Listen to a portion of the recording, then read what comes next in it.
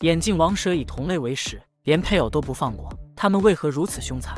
在自然界中，蛇类算是最有名的冷血动物，它们的靠近通常都会让人们感觉到十分危险。不过，蛇的种类有很多，它们的脾气性格也大不相同。一般情况下，蛇类都会以老鼠、鸟类等小型哺乳动物为食。但是，让人感到震惊的是，有一种蛇竟然会吞噬同类，甚至连自己的配偶都不放过。既然如此，那么这种蛇的真实身份究竟是什么呢？一提起凶猛的毒蛇，相信很多人首先想到的都是眼镜蛇等比较有名的品种。而我们今天所讲的主角与眼镜蛇的名字十分相似，人们将其称为眼镜王蛇。这是一种十分凶猛的毒蛇。作为独居的冷血动物，眼镜王蛇大多情况下都喜欢一个人生活，并且它们对于自己的领地有着很强的占有欲，绝不允许有其他生物进入自己的地盘。一旦它们发现了其他蛇类的身影，如果对方的体型比自己小，那么他们就会毫不犹豫地发起攻击，并且在获胜后将其尸体吃下。虽然眼镜王蛇大部分时间都是独立生存的，但是它们为了能够将自己的基因延续下去，进入发情期后也不得不主动出击寻找配偶。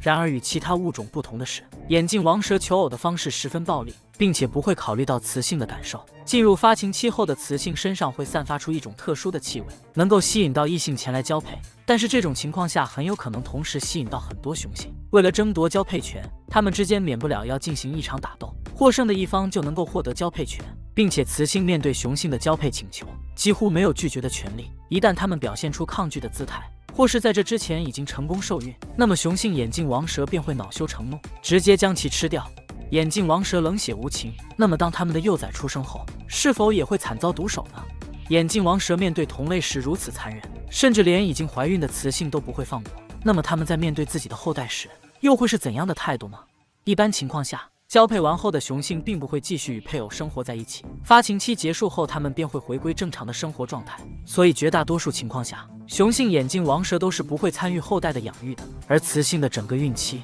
都是它们独自面对的。虽然眼镜王蛇在我们看来十分凶猛残忍，但是雌性对于自己的幼崽可以说是倾尽了所有的心血。为了能够让幼崽有一个适宜的孵化环境，眼镜王蛇会寻找一个合适的环境，并且想尽办法创造出一个合适的环境，并且在整个孵化的过程中，它们都不会离开自己所产下的蛋，甚至为了能够让幼崽安全的被孵化出来，它们甚至会放弃进食。不过这并不代表雌性眼镜王蛇就能够与同类和谐相处，在幼崽被孵化出来后，雌性眼镜王蛇也会慢慢离开自己的孩子，这又是为什么呢？其实这是因为吞食同类算是眼镜王蛇的天性，它们无法控制自己的这种行为。如果继续和自己的后代生活在一起，那么刚出生的幼崽必定会被自己全部吃掉。因此，为了能够让幼崽安全的生存下去，雌性眼镜王蛇就只能选择离开。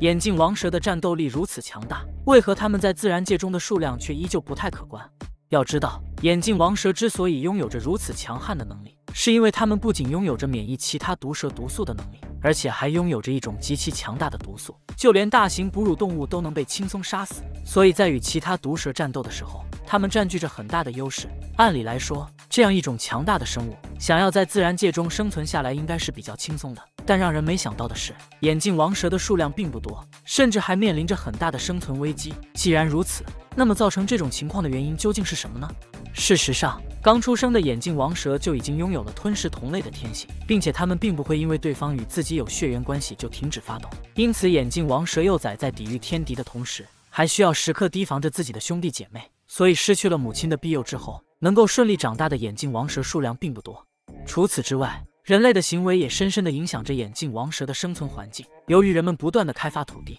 所以导致适合眼镜王蛇生存的空间越来越少。栖息地的破坏导致它们的交配繁衍也受到了影响，因此自然界中眼镜王蛇的数量才会日渐减少。本期视频到这里就结束了，对此你还有什么想说的吗？欢迎在评论区留言。曲普文新征稿了。